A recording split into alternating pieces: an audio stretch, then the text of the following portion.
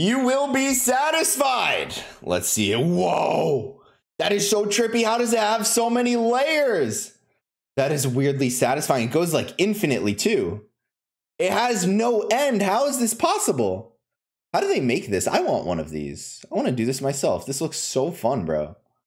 I am 100% satisfied. If this video satisfied you, make sure to subscribe.